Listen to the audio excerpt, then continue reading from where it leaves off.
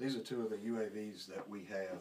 One is outfitted with a GoPro, um, regular daytime type of camera, and the other is operated with a FLIR unit, forward-looking infrared radar.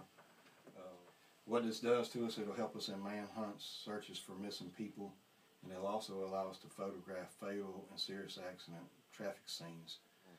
So we add this to the other tools we have, such as ATVs, um, K9, and we're able to see from the air where the person might be and search the area quicker. It also allows us to get pictures of accident scenes, those of a serious or fatal nature.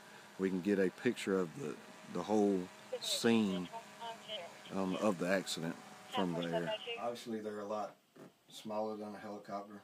It cuts down on our response time and the cost, um, but it does not replace them. Uh, it's just another tool we can use in some of those situations.